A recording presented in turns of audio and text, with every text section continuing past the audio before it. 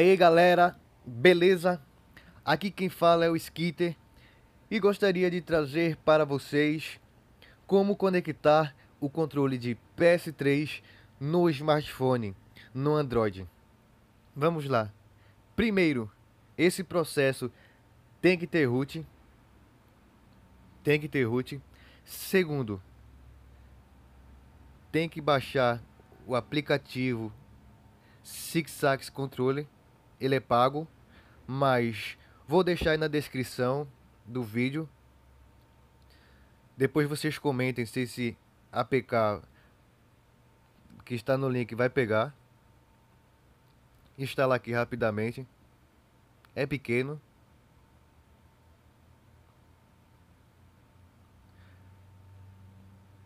Instalando. Ok, pode fechar.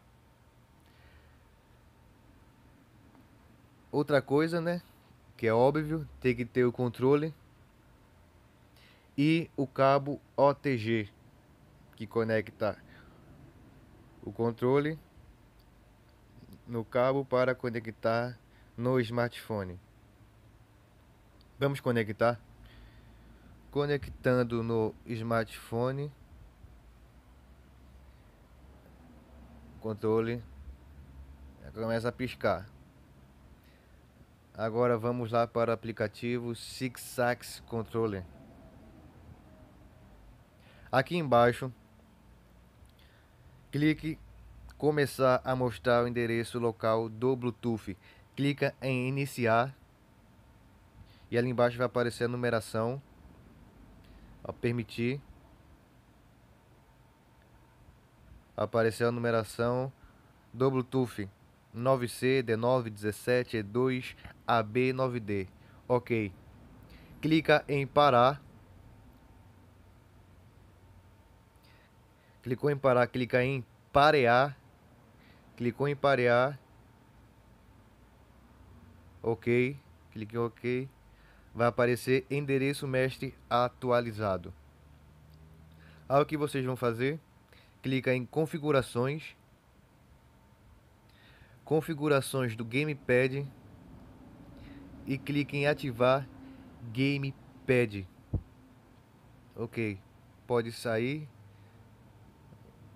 pode desconectar o cabo do do smartphone, do Android e pode se conectar também mostrar aqui para vocês tudo desconectado.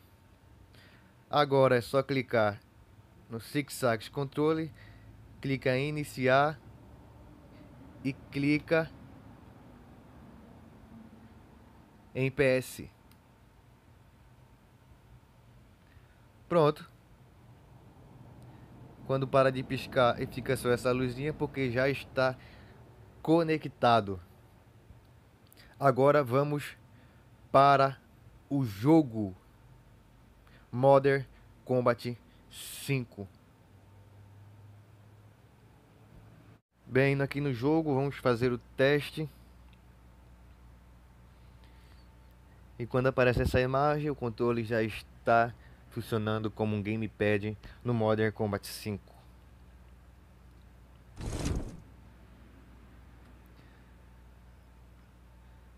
Aqui tranquilamente controles né? Funcionando de boa. R1 L1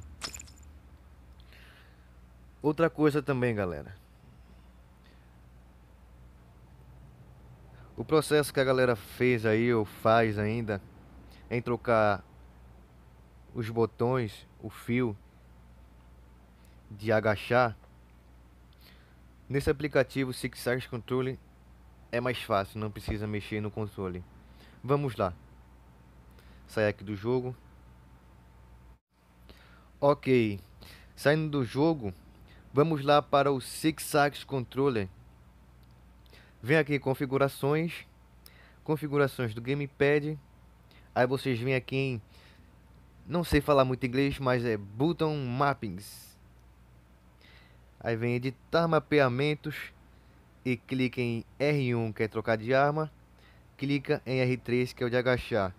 E o R3 que é de agachar vai virar o R1 que é de trocar de arma.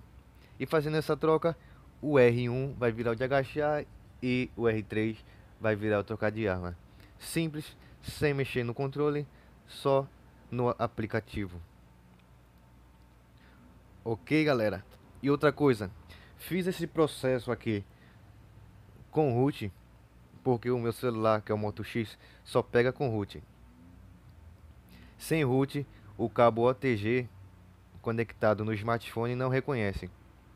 Mas em outros celulares, sem ser o Moto X, não sei se tem outro que também não pega, só conectando o cabo OTG,